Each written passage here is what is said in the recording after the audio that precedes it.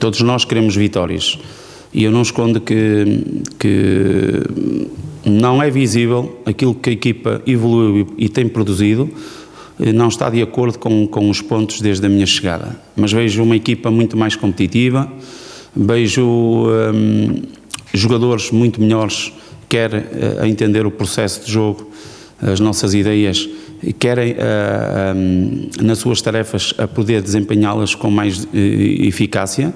A equipa hoje está mais preparada, uh, claramente, mas também é factual que, que, não se tem traduzido em pontos. Jogar contra o Benfica é sempre motivador e sempre difícil. as diferenças são muito grandes, como, como são mais que visíveis.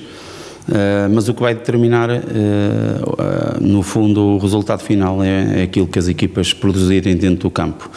Nós seguramente vamos com a convicção e com a confiança para conquistar pontos, sabendo que, que é um jogo difícil, que tem o seu grau de dificuldade, mas também temos confiança no processo e nos jogadores e, portanto, vamos com, com confiança para, para obter um bom resultado, que é a conquista de pontos.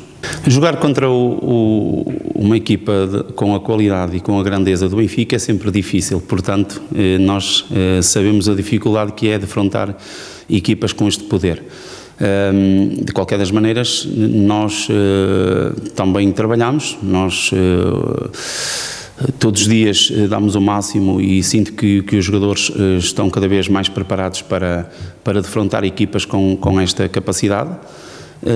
E nesse sentido, eh, esperando dificuldades, eh, principalmente pela qualidade do nosso opositor, eh, também temos a convicção e a confiança de que se nós estivermos num dia bom, se nós estivermos num dia fantástico e se o Benfica estiver num dia menos bom, a balança pode ficar mais equilibrada e podemos disputar o jogo até ao final hum, para, para obter a conquista de pontos.